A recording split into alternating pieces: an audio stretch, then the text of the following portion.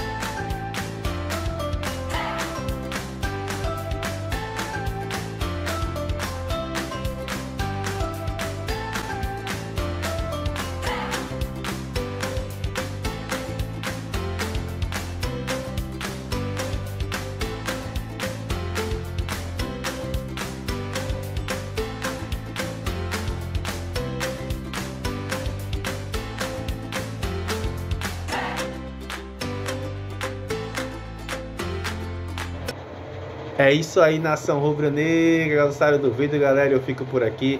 Até o próximo vídeo. E vamos que vamos, Flamengo!